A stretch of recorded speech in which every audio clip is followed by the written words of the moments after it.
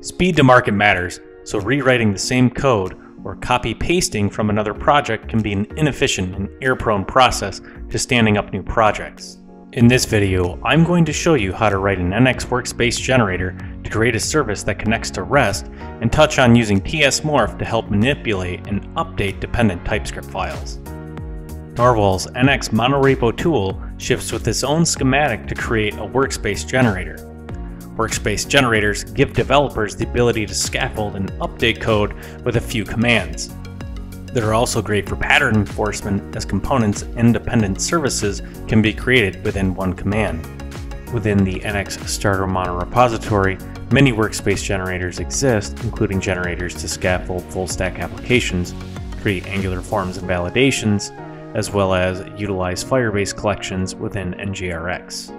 Within the NX Starter monorepository, open a terminal to create a new generator using the command nx G at nrwl workspace workspace generator, and the name will be client-side REST service.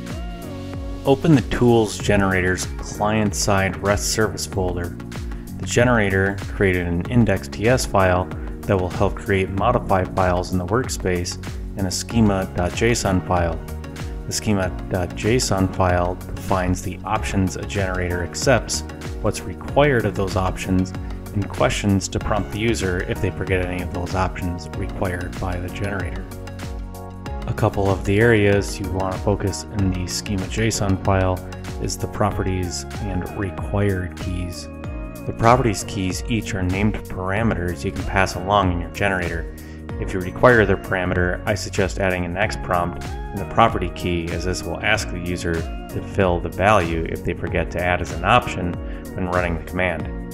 Further details on the schema can be found in the NX generator in the description. The required key in the schema.json defines an array of property keys defined earlier, of which are necessary to run the generator.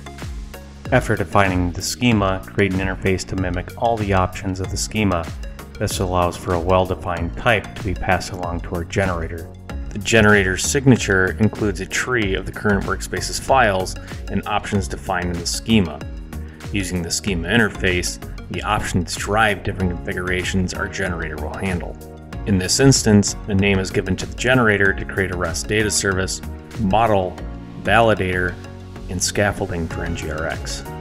If you're familiar with embedded JavaScript templating, aka EJS, or classic ASP with a JavaScript flavor, templating should be no problem.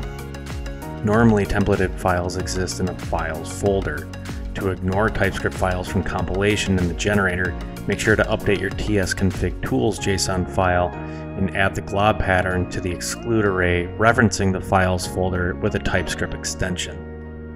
The generator uses the generate files method out of the Nrwl dev kit, accepting parameters for the tree, directory of the templated files, the output directory for those files, and an object for substitutions.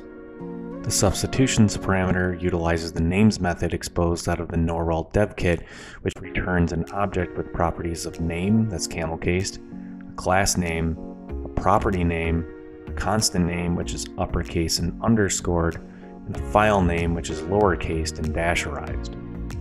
The template's file name may also have replacement variables from the object properties. These are double underscored on the variable name.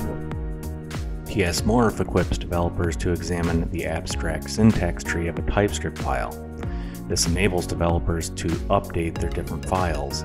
For example, when a component is created using the Angular schematic, the component is then exported and declared in the closest Angular module. In this example, the REST data access service will be exported from a barreled index file. Contained in the NX monorepo starter an update source files utility creates an in-memory project for ts-morph. In the method signature, the tree and file updates are provided. The file updates is of type record string and a delegate. The string references a file path to be updated, while the delegate runs a method to make changes to the source file. The abstract syntax tree can be a little tricky to understand, so I recommend hopping over to the AST viewer that can help find parts of the file you'd like to update. You can find a link to the AST viewer in the description. For this purpose, our goal is to export the service file from a barreled index file.